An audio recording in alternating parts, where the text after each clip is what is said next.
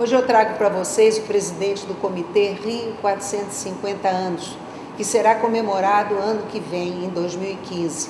E o prefeito Eduardo Paes houve por bem escolher Marcelo Calheiro para presidir. Marcelo Calheiro é um diplomata de carreira e que está levando com muito carinho e com muita eficiência esse cargo de trazer as festas todas o mais bonito possível para o Rio de Janeiro. Tudo bem? Tudo bem, Ana. Muito obrigado pela oportunidade de, de, ser entrevistado por você e de falar com a sua audiência. É, muito obrigada a você também, porque eu quero ter, eu tenho uma curiosidade. Você foi a Israel? Eu fui a Israel e certamente foi uma das melhores viagens de toda a minha vida. E você o que sentiu lá, o que mais te impressionou, te causou é, profunda impressão?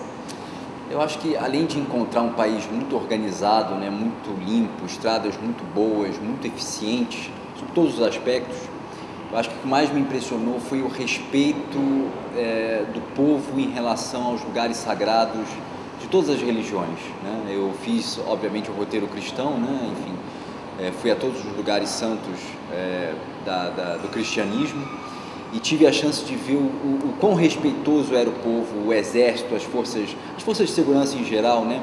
o quanto se procurava realmente dar aos, aos peregrinos a oportunidade de culto nos seus lugares sagrados. Foi muito emocionante para mim ver essa cultura que a gente estuda desde pequeno, na, nas escolas, eu estudei sempre em colégios católicos e depois fiz a famosa catequese, né? Uhum. Quando a gente se prepara para a primeira comunhão, toda essa cultura que a gente aprende da Bíblia e tudo mais, ver aquilo retratado em termos concretos foi muito emocionante. E o que você gostaria de que fosse feito aqui no Brasil? O que você acha que de lá poderíamos trazer para cá que seria muito bem aplicado? Acho que para além, claro, dessa infraestrutura que Israel tem é, muito bem arquitetada, né, muito bem organizada, é, uma coisa que me impressionou muito foi o profissionalismo da indústria do turismo. Né? Eu tive chance de ir ao Mar de Tiberíades, ao Mar Morto, ao Mar Vermelho, fui a Eilat é, e vi o, o, o, quão profissional é a indústria do turismo em Israel. E claro, isso é, um, é uma dádiva para o país por conta dos dividendos que essa indústria pode gerar, dos empregos, da renda, né?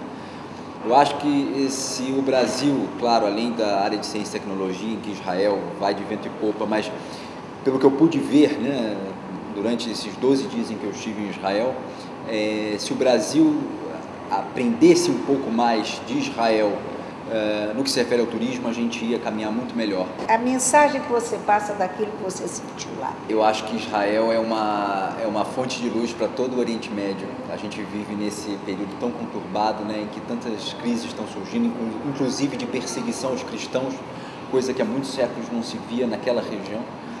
Então eu acho que a mensagem que Israel traz ao mundo contemporâneo é uma mensagem de paz e de inclusão. Portanto, minha gente, Marcelo Calheiro.